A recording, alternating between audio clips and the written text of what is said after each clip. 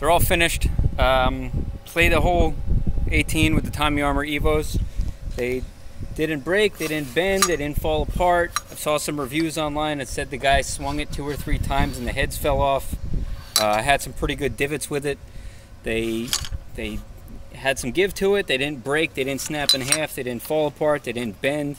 Um, I, I, fell in love with the with the irons here. They're, they're a billion times better than my previous irons.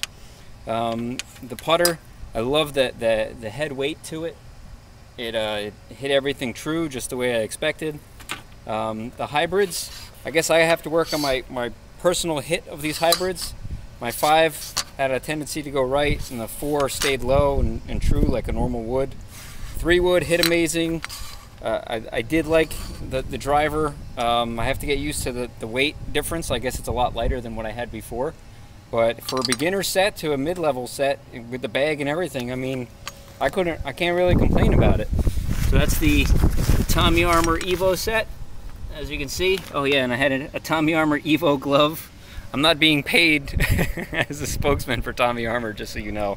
Just happened to be the uh, the brand that I got. So that's the Tommy Armour Evo series.